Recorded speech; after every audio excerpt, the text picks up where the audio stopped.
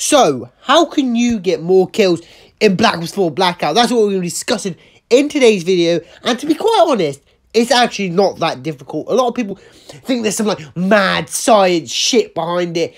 And there just isn't. It is really simple. So I'm going to be giving you guys my best tips to get more kills in Black Ops 4 Blackout. So without further ado, let's jump into the video. So first things first, I'll just get it straight out of the way. You need to be able to shoot a weapon. If you can't do that, you have got no hope, and you should probably go and work on your shooting in Black Ops 4 multiplayer before you jump into Blackout. So, if you can shoot, you don't have to be a great shooter, bearing in mind, but as long as you can shoot mildly straight, that's fine.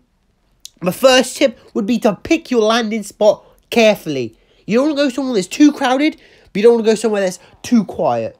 If you like, say, do you know the helicopter line? If you was in yesterday's video, you know what I'm talking about if you got the helicopter line and it's right over Nuketown, like the first landing spot that people go to is Nuketown, you don't want to land there because you can guarantee every man and his uncle and his dog and his cat and his mouse and his hamster will land there. So like I said, you want to pick somewhere that's going to be a little bit busy, but obviously not so busy that you have no time to get up a gun and then before you know it, you've got a bullet in your bum. So that, that's the first tip. Pick your landing spot carefully. Don't go somewhere where you know it's going to be intensely busy and go somewhere where you know there'll be people landing there, but not an, an insane amount where you just get overrun by everyone.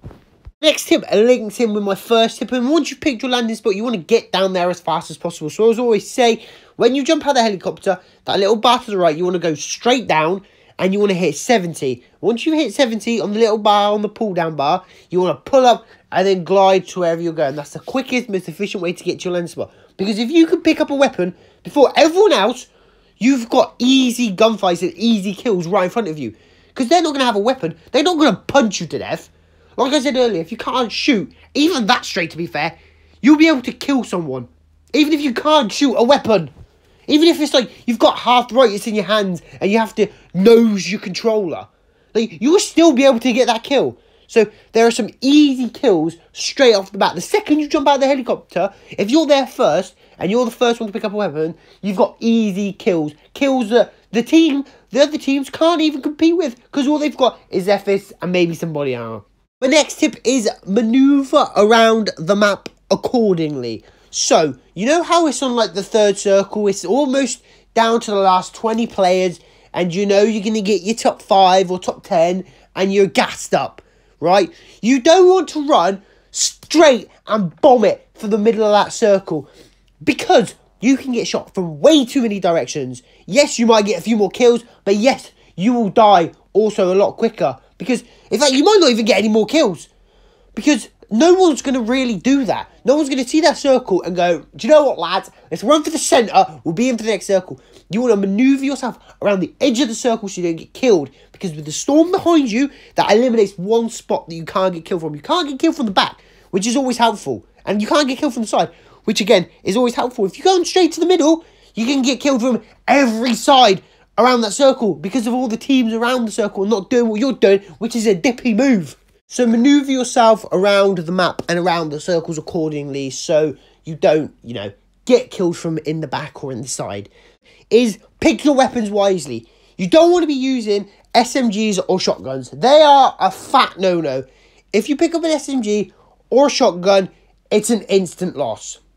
In fact, including a Maddox. That may be an assault rifle, but it is pitiful at medium to long range. It is only good at close range, which is crazy considering it's an assault rifle. So you only really want to stick to weapons like the ABR, the KN44, snipers, Koshka, Paladin, Outlaw, any long to mid range weapon is your best bet. In this gameplay here, I'm using the KN44 and an SDM. They're mid to, to long range weapons, and that's what you want because you're never going to really, unless you're jumping straight at the start, you're never going to get in gunfights at close range.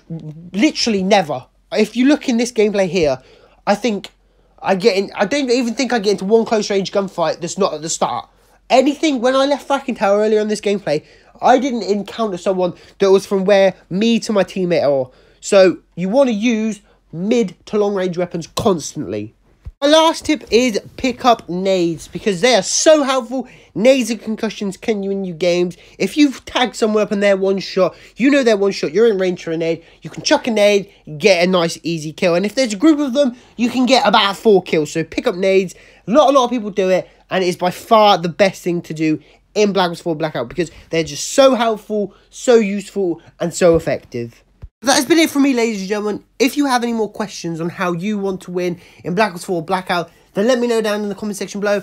If you have any other questions on Blackout or Blackout related, also let me know down in the comment section below because I'll be able to answer pretty much all your questions. If you have any tips on how to win or how to get more kills. I've done a video in yesterday's video to make sure you check that out if you want to know how to win. I did how to get more kills in this video, and tomorrow I've got another video lined up for you guys. So that's been it for me, ladies and gentlemen. Hope you all had a fantastic day. If you are new around here, make sure you hit the subscribe button. Drop a like if you did enjoy, and leave any comments down in the comment section below. This is Lukey, and I'm signing out. Peace.